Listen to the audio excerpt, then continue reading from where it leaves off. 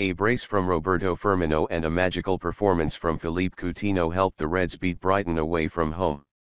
Liverpool travelled to the Falmer Stadium, American Express Community Stadium, on the back of an impressive midweek win away from home against Stoke City.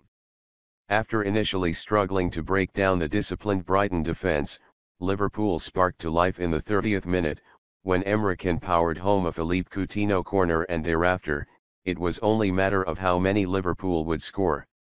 The Reds added further goals through Roberto Firmino, 2, and Coutinho, 1, before Lewis Dunk inadvertently turned the ball into his own net for the second game in a row, and a solitary goal from Glenn Murray could not prove enough to stop a Liverpool juggernaut.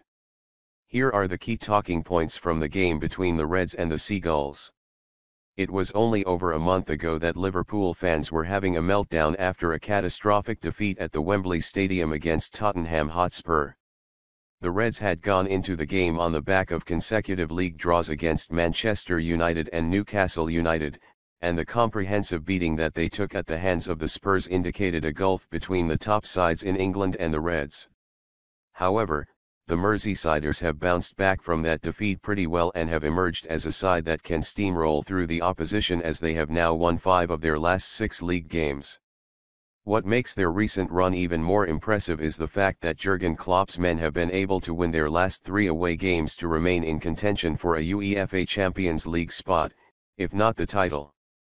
After initially struggling to break down a disciplined Brighton defence and evoking fears that they might yet again slip up against a recently promoted side away from home, the Reds finally found their rhythm towards the first half and made sure that they did not return from their trip with another disappointing result against a promoted side.